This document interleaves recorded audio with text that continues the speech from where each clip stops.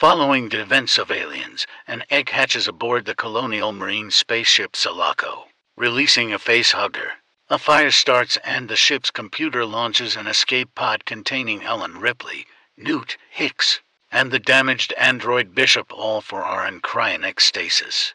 The pod crash lands on Fiorina Fury 161, a foundry and maximum security correctional facility inhabited by male inmates with a genetic predisposition for antisocial behavior. The inmates recover the crashed pod and its passengers. The facehugger approaches inmate Thomas Murphy's dog, Spike.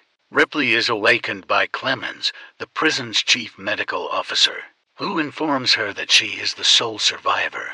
The prison warden, Harold Andrews, says that her presence may have disruptive effects.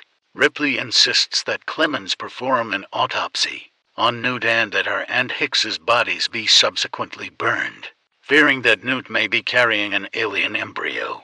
Despite protests from the warden and his assistant, Aaron, the autopsy is conducted and no embryo is found. The funeral proceeds with spiritual leader Dillon delivering a speech as the deceased are dropped into the furnace.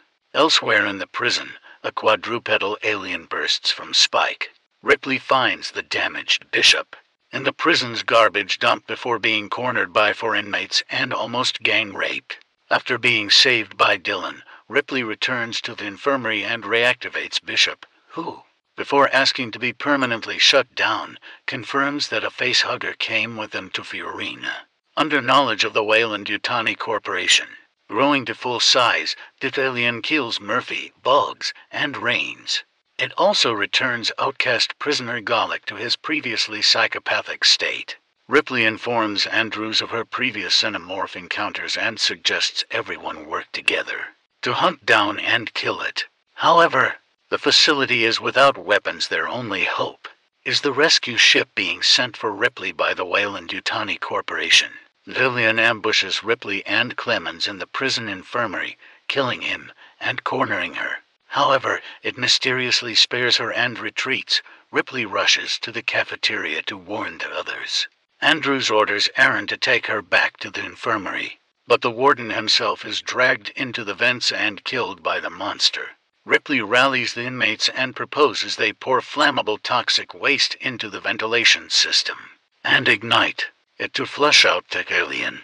However, its intervention causes a premature explosion and several inmates die. With Aaron's help, Ripley scans herself using the escape pod's medical equipment and sees the embryo of an alien queen growing inside her. She also discovers that Weyland-Yutani hopes to turn the aliens into biological weapons.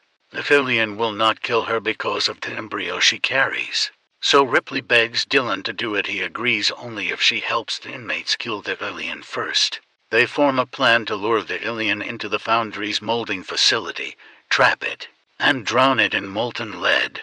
The bait and chase plan results in the deaths of every remaining prisoner but Dillon and Morse. Dillon sacrifices himself to position the alien towards the mold, as Morse pours the molten lead onto them. Although the alien is covered in molten metal, it escapes the mold. Ripley activates the fire sprinklers, blowing alien apart from thermal shock. The Weyland-Yutani team arrives, including commandos and a man who looks identical to Bishop who says he is Bishop's creator. He tries to persuade Ripley to undergo surgery to remove the queen embryo claiming it will be destroyed. Ripley refuses and steps back onto a mobile platform, which Morse positions over the furnace. The Weyland-Yutani team shoots Morse in the leg to stop him. Aaron strikes the bishop look-alike with a wrench and is shot dead by the commandos. Ignoring pleas to give them the embryo, Ripley throws herself into the furnace, holding captive the infant queen as it erupts from her. The facilities are closed down. Morse, the sole survivor, is led away as Ripley's final logbook recording from the Nostromo plays.